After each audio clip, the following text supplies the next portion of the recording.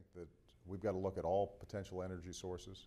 Uh, the nuclear facilities that we have here uh, are closely monitored.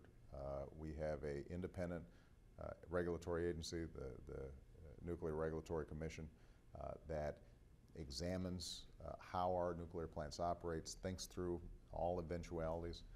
Obviously, all energy sources have their downsides. I mean, we saw that with the Gulf spill last summer.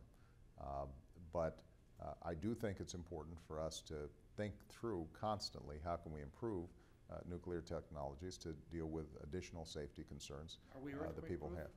You know, we constantly monitor. Uh, I asked this question of uh, uh, our Nuclear Regulatory Commission. Uh, we constantly mo- monitor seismic activity. Uh, nuclear plants are designed to withstand uh, certain levels of, uh, of uh, uh, earthquakes. But having said that, nothing's completely uh, fail-safe. Nothing's completely uh, foolproof. Uh, and so uh, each time these kinds of events happen, I think it's very important for us to examine uh, how we can further improve uh, the safety uh, and performance of these plants. Are you at all worried about radiation from Japan reaching American shores? No.